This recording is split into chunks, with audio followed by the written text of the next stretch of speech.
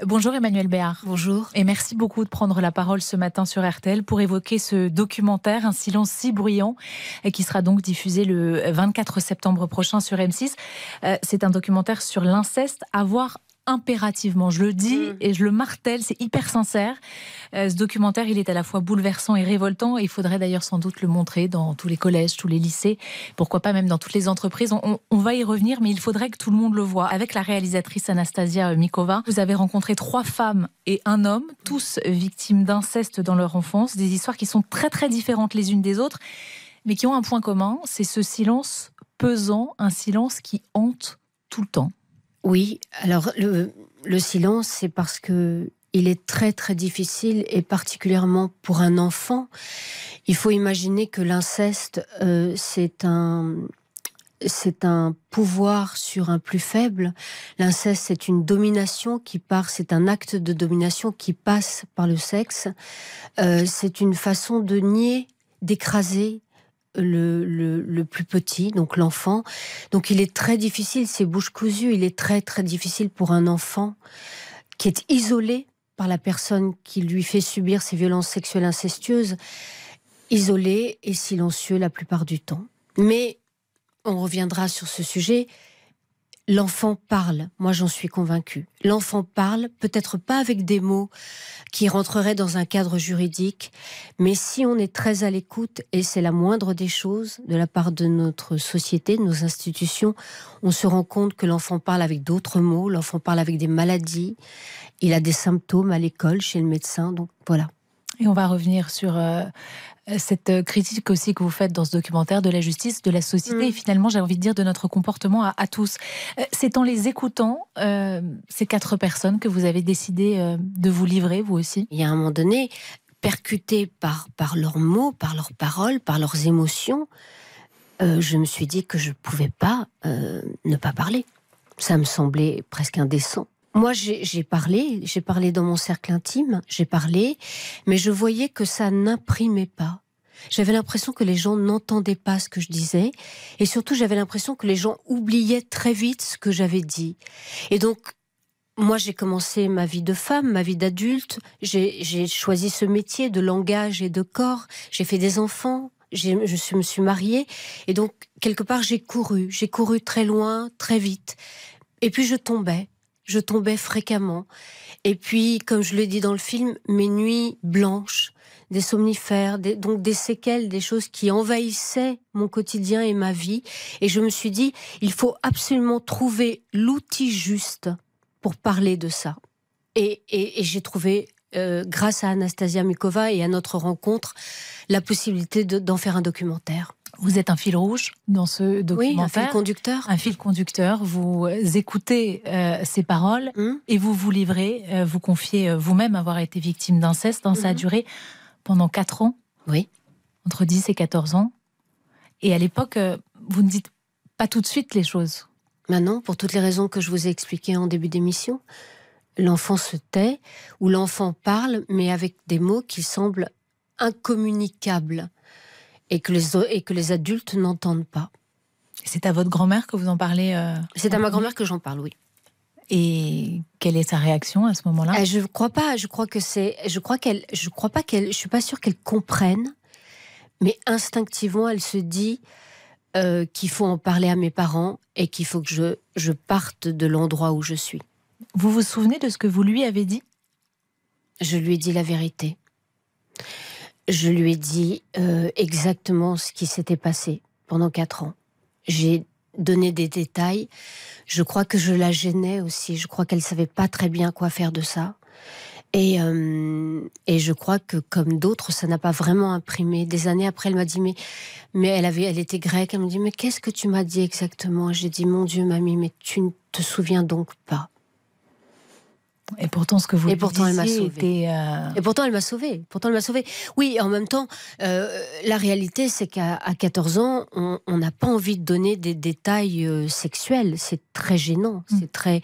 Donc, on dit d'autres choses ou on reste flou, trop flou peut-être, pour qu'ils impriment. Et elle vous a sauvé. Oui. Parce qu'elle vous sort de ce. Oui. Cet endroit où ça se passe. Oui, absolument. Enfin, de cet endroit, de ce lieu. Vos parents, vous leur en avez parlé aussi. Mm-hmm. quelle a été leur réaction? La même, c'est-à-dire qu'ils ont, euh, ils ont posé des questions qui me paraissaient à l'époque euh, très difficiles. Euh, il me paraissait très difficile d'y répondre, mais, mais j'ai dit, j'ai dit ce qui était arrivé, j'ai tout dit. À aucun moment, l'un de ces adultes euh, ne vous a dit euh, il faut porter plainte. Non, euh, alors je dis pas ça du tout pour les accabler. Non, non, c'est pas ça, mais, les choses, qu'on comprenne justement. Les choses ont changé. Vous savez, c'était moi, je, je, viens d'avoir 60 ans, donc on parle d'il y a longtemps, et c'est vrai que le mot inceste. Moi, c'est pas parce que je me suis tue que je n'ai pas compris ce qui se passait. C'est pas parce que je n'ai rien dit que j'ai accepté je ne sais pas comment vous dire, ça paraît paradoxal, mais, euh, mais à l'époque, on ne parlait pas d'inceste, on ne parlait pas de plainte. C'était un sujet totalement tabou. Non pas que ça, soit plus tabou, parce que, en fait, l'impression que ça me donne depuis que je fais ce film, c'est qu'il n'est pas tabou de le faire, mais par contre, il est tabou de le dire et de le penser. Et c'est cet espace de pensée collective sur un traumatisme collectif qu'on a voulu créer avec Anastasia. Et l'adolescente de 14 ans ne s'est jamais dit euh, il faut que cet homme paye? Non, pas de cette façon-là. Vous n'avez jamais songé à, porter plainte? Euh, vous Non, mais dans le film, j'ai voulu, je n'ai pas voulu prendre le risque qu'on me dise un jour que ça n'a pas eu lieu. Oui, parce que je sais que 70%, et c'est un des problèmes de notre justice, 70% des plaintes sont sans suite donc des sans-suite, des non-lieux. La justice aujourd'hui euh, ne semble pas être à la hauteur de ce qui de ce qui se passe dans notre pays. Moi, je suis pas folle des, chiffres et je n'ai pas envie qu'on devienne un grand tout, mm. mais c'est quand même 160 000 enfants. C'est un, enfant toutes les trois minutes. Dans une classe de 30 enfants, vous avez toutes les chances d'en avoir deux ou trois. Donc c'est un Français sur dix. Un Français sur dix. C'est énorme. Français sur dix, c'est énorme. Donc donc c'est très bien cette injonction de dire il faut prendre la parole, il faut parler, mais cette parole, il faut en faire quelque chose. Il faut agir pour moi dans un ordre chronologique, c'est-à-dire que si on ne sait pas quoi faire de cette parole d'un point de vue sociétal et judiciaire, on ne peut pas entraîner les gens à juste dire les choses. Il faut les protéger. Et, et c'est vrai que force est de constater que le système judiciaire, pour le moment, n'a pas l'air de protéger nos enfants. Mais pourquoi? Parce qu'il est trop lent mais parce qu'il est trop long, parce qu'il est encombré, parce que sans doute il n'y a pas assez de gens qui, qui, sont sur ces dossiers, parce que euh, et puis parce que on a peut-être des lois à changer. Quand vous imaginez, vous imaginez que quand un homme ou une femme est condamné pour violence euh, euh, sexuelle incestueuse, il n'y a pas un retrait immédiat de l'autorité parentale, par exemple. Il y a beaucoup, beaucoup de mères qui vont porter plainte, qui vont porter la parole de l'enfant et qui se retrouvent à être des mères soupçonnées d'aliénation parentale sur leur enfant. et avec des risques instrumentalisé leurs enfants. Exactement. Avec des risques, avec des pénalités, euh, des, procédures judiciaires, avec des risques de prison, des amendes. Et on s'est aperçu qu'il y avait des centaines et des centaines, des milliers de, de femmes qui portaient cette parole-là, en disant ce témoignage-là, en disant je suis, je me retrouve sur le banc des accusés. Dans le documentaire, il y a le témoignage de, Sarah et de, sa fille, mhm. abusée à l'âge de, dès l'âge de 4 ans, et qui mhm. va parler à sa maman en lui expliquant. Euh, sa maman entend et effectivement, elle va porter plainte. Elle l'emmène voir des spécialistes. Les spécialistes à l'époque lui disent elle n'est pas en danger. Oui. Et cette petite fille, elle va être. Euh, oui, et elle dit cette chose, moi, qui m'a beaucoup frappée. Elle dit mais moi, je pensais que c'était des professionnels qui me répondaient. Donc s'ils me disaient que ma fille n'était pas en danger, s'ils me disaient qu'éventuellement ma fille peut-être inventait, alors que la, fille de Sarah est très précise dans ce qu'elle dit. Et donc cette mère a été sous peine d'aller en prison et, de payer une amende et de se voir retirer la garde de son enfant. Elle a été obligée de remettre l'enfant. Donc il faut, il faudrait au moins suspendre euh, l'autorité parentale le temps de l'enquête, donc et le droit d'hébergement et le droit de visite. Parce que cette petite fille, elle est allée pendant quatre ans. Le temps de la procédure, un sur deux, et ça a continué. Bien sûr, et ça ne s'est arrêté que parce qu'il a abusé de deux autres mineurs. Ça ne s'est pas arrêté parce que la fille de Sarah a parlé. Ça s'est arrêté parce qu'on s'est aperçu qu'il y avait des plaintes sur deux autres mineurs. Mais sincèrement, Emmanuel Baer, quand on voit ça, on dit on marche sur la tête. On marche, en tout cas, on marche pas dans l'ordre chronologique. Donc c'est très bien tout ce qui se passe. Le gouvernement semble avoir envie de prendre en charge ça, mais il faut avancer tous ensemble. Vous disiez tout à l'heure l'éducation. Nous, on adorerait avoir un partenariat avec l'éducation nationale. On adorerait aller avec ce film dans les écoles, dans les collèges. Mais il faut aussi savoir que c'est, il semble y avoir des gardiens du temple à tous les étages. Par exemple, les médecins. Dans notre film, il y a une, une femme, Norma, qui dit cette chose. Elle dit, si le médecin m'avait dit pourquoi toutes ces cystites, mais j'aurais tout lâché. Si le directeur de l'école m'avait dit pourquoi une telle violence, pourquoi un tel rejet, j'aurais tout dit.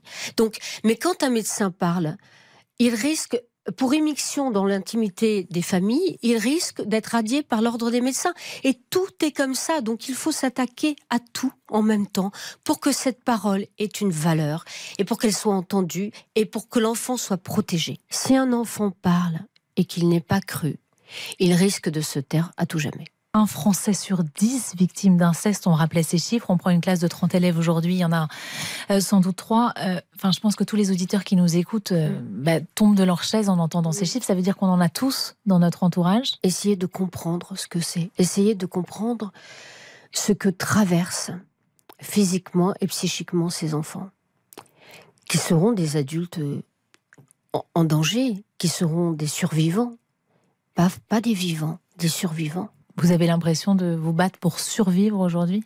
Bah, Je vais vous dire une chose, c'est que pour avoir eu envie euh, d'en crever pendant longtemps, je, je pense que maintenant j'ai vraiment le droit d'avoir d'avoir envie de vivre.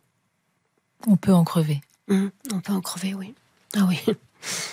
oui. Vous avez fait le choix de taire le nom de celui qui vous a fait ça? Oui. Pourquoi? Parce que c'est pas le sujet du film, parce que c'est pas un film euh, euh, comment dire, de règlement de compte, parce qu'il n'y a pas à donner le nom de cette personne euh, sur la place publique. C'est pas, c'est pas le, c'est pas le sujet. Euh, voilà, c'est pas à ça que j'ai eu envie de m'attaquer.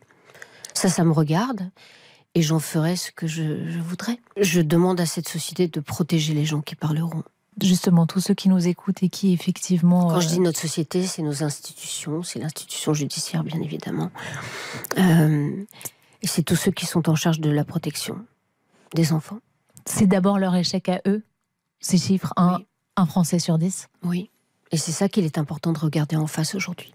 Un grand merci en tout cas, euh, Emmanuel Béard. Pardon, un, silence si bruyant, c'est à voir. Et, vraiment, je le répète, il faut voir ce documentaire, le voir euh, le, 24 septembre euh, dimanche sur M6 ou en replay d'ailleurs. Et j'en profite aussi pour saluer les, quatre témoins de, mmh. de, votre documentaire. Je sais que vous ne voulez pas qu'on les appelle victimes.